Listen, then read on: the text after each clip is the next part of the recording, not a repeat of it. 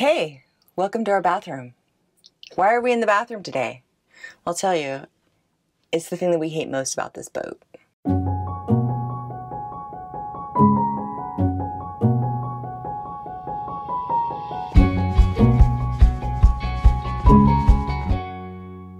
If you followed our channel for any length of time, you know that we've done just a lot to this boat. We've changed everything that we don't like about it. You can watch all these videos that we've done.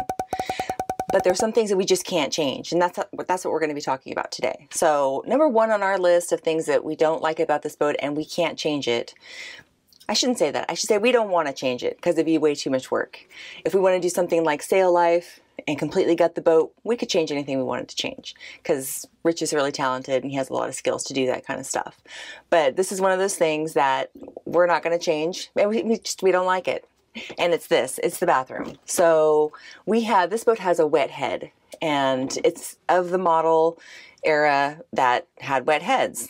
If we had bought a newer Tayana just like this it would have a separate shower which we would really love but we don't have that. So anyway we have the, a really nice shower which we changed and we have nice countertops which we changed. We have a really nice toilet.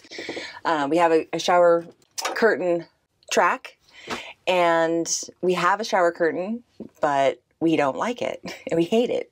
And I need to come up with a solution for that anyway. So that's probably going to be on a, a later video. But um, right now we just really don't even use it. We only use it if we really have to. Uh, other than that, we are showering up at the marina. So, so number two on our list is the location of our refrigerator. So in later models of this boat, they had them flip-flopped. Sink was over here, refrigerator was over here. And in the early models, it was the way we have it. We completely gutted the fridge and rebuilt it, and it's nice. We really like it. It works great. There's actually a lot of space in here, but it would be better if it was over here. There's more space. Um, you could actually be a little bit deeper, and we just couldn't do it. It was um, the through hole is over here for the sink. There isn't one over here. Just one of those things that we kind of have to live with. So this is our number two on the list, location of our fridge. Number three on our list is the outside teak and there's just a lot of it. So, and you know, it takes a long time to maintain. We think it looks really nice, but if we had to do it all over again, we would not buy a boat with so much teak. And once again, some of the later models didn't have it all across the side here. They just had a little bit at that end and a little bit at the front. Ours just happens to have it all the way around. And we've actually taken some of the teak off. We, there was a strip on the bottom here that we eliminated. The Dorade guards are teak. We just epoxied those and painted them. Um, but everything else we're going to keep. So number four on our list is the location of our diesel tank. So we have a hmm, about 100 gallons of diesel and it's located under our V-berth. Later models of this boat had the diesel tanks in the middle in the bilge area, um, which is just a lot better for balance of the boat once our, when our tank is full, it's a lot of weight up front, plus the chain and everything else we had going on up there. So if we could change that, we would have, but that would mean cutting out the diesel tank or cutting the top off the boat to get it out. So neither one of those are something we're ever going to do. Okay, so the last thing on our list of things that we don't really like about this boat is the location of our holding tank. So you can't even see it. It's down here. It's underneath the engine. It's glassed into the hull. There's no way we can service it. So the hose that connects it to the toilet is 18 feet long. It connect it goes all the way across the boat. Also, it's very small. I think it's like maybe maybe 15 gallons. Maybe. We don't even know. There was maybe one time where we actually could have changed something about the holding tank, and that's when we had the Perkins out of the boat and we hadn't installed this thing yet. Because then we could actually see the holding tank. But other than that, it's kind of something we're just stuck with. We did five things that we don't like about our boat. So we thought we would do five things that we really do like about our boat. So one of those things is our windlass. So we installed uh, an electric windlass a few years ago. This is a Lofrans. It's a Tigres model. That's the size that fits our boat. And it really is kind of a game changer with anchoring. So we had a, a manual Simpson Lawrence 555 and it was great, you know, it worked great and we actually refurbished the whole thing and it was in like like new condition.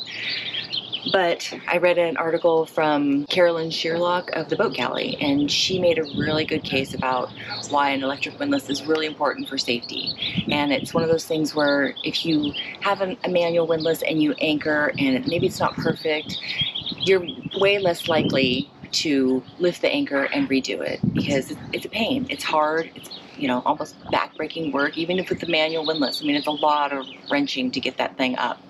So if you have an electric windlass, it's so easy. You just like, you know what, this, this anchorage isn't great or the anchor isn't set perfectly. Let's just redo it. And it's really easy. So that was kind of my justification for spending almost $3,000 to get an electric windlass. Second thing on our list of things that we really like that we've done to the boat is the Dodger. So we've wanted a Dodger since we bought the boat. We got it done by uh, Compass Canvas in Richmond, and they're really great to work with. The design style for our boat, we didn't want something that was super tall and kind of like a clunk add-on thing. It, we've seen some boats that have a, a boom gallows like we do, and the inclination is always just to put the windows straight up to the boom gallows and then over, and they can look a little bit. They look. They look like a big wall. It's, it's just it's really it's just awkward looking. I think Compass Canvas was able to make the the angles and the lines of the Dodger fit like the elegant lines of our boat. It's also, I think, the second most expensive thing we bought. We paid about eighty five hundred dollars for this Dodger. We really, we just really love it. We love the color. We love the design. We love you know, it's just how it makes the boat look, and also the shade in the summer, and then for the rain in the winter. It's been really nice. You can see from our uh, video on the way to get the Dodger that we really needed it. It was super splashy. Rich got really wet at the helm because I went inside when it got really splashy. And then on the way to the Napa boatyard a couple months ago, it came in really handy because in the same exact spot. It's right through Pittsburg. It's super splashy. So it, it really came in handy then too. And on the way back, we got rain and what have you. So it's been really nice. It, it provides some privacy at the dock here, so that's always nice. You know, when you live aboard full time and you work, you know, you want to sit outside, especially on the weekends. You got people just constantly coming and going, and sometimes you just don't want to be super social. And it's nice. You just put the cover up, and they don't even know you're here. So anyway, our Dodger is our second thing that we really like about our boat. Number three on the list of things that we've done that we really like on the boat is this new Beta engine. It's also the most expensive thing we've done. This thing cost about 20 grand when all was said and done, and we did everything ourselves. We did the complete installation. So it would have been obviously a little bit more if we had had somebody do it. What we had originally was a Perkins 4108. Uh, the engine hour didn't work when we got it, so we really didn't know how many hours were on it. It had some issues, you know, it, it, it constantly just needed to be maintained and it leaked like crazy. The bilge was black. This one obviously doesn't leak. So, and, and the reputation of the Perkins is that they always leak. So it's not like something we could we were ever going to fix. Even replacing the bottom seal, it probably still would have leaked. So now I've got this nice shiny new engine, and we're really happy with it. All right, number four on our list is our anchor. So we got the Rockna Vulcan anchor. We got the 25 kg, 55 pounds. It's actually a little bit oversized for our boat, but we absolutely love it. There's all kinds of engineering that went into this thing, and it just it sets perfectly almost every time. So we had a hard time finding an anchor that would sit right on our bowsprit. And the original Rockna has a big roll bar that's helpful for setting the anchor, and it just doesn't fit on our on our boat with the bowsprit. They came out with this one, which is the Vulcan, and it just sits perfectly. Well, it sits pretty good, I should say. I think there was one time that it didn't set, and it was because we were on like a big pile of weeds. Uh, and it just was kind of skimming across the top. But other than that, this thing just works every time. So we really do love it. It just feels it's just a peace of mind when you're at anchor. All right, the last thing on our list of things that we really like about this boat is our induction cooktop and our little air fryer oven. So we had a propane Force 10. Actually, it was, it was new. We installed it. Um, it was it was really fluky. It just um, it wouldn't hold a consistent temperature. So we tore all the propane out of the boat and put this induction cooktop in. So it's just the mini duo is what it's called. It's a two burner. It has a sorry one to ten uh, range, or you can actually set a temperature like 150 to 450 if you want. You can do a timer. I mean, I've never actually used all that stuff, but this works really well and it's really fast and super efficient. So we really love the induction cooktop. And then the little air fryer oven we have works great. It actually holds a really good temperature. The only gripe I have about this is it's a little bit on the small side. I wish we'd had a bigger one. When we bought this, we just didn't have a lot of options. There was like two on the market or something. So now you go and there's like I don't know, 15 different ones you can get, all different sizes and models, whatever. Anyway, and then Rich built this gimbaling box for it, and it works really great. It's got drawers for all the utensils and stuff. And then we also, he also found these little rails to put pot holders on, and they're adjustable.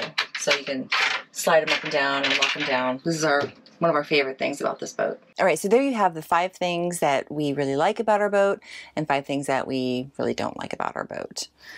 Everything that we could change, we've changed. So the things that we don't like, we're just kind of stuck with at this point. But that's okay. Every boat's a compromise, and we're okay with that. So if you have a comment, leave it below. Uh, don't forget to like and subscribe and hit the bell and whatever else you're supposed to do on these videos in YouTube. What we didn't say is uh, after living on this boat for 10 years, we've realized it's just too small. This is a two person boat with max. The cat takes up too much space. Wow. She lays in the middle of the floor, you're always tripping over her. And her cat box, and her food, and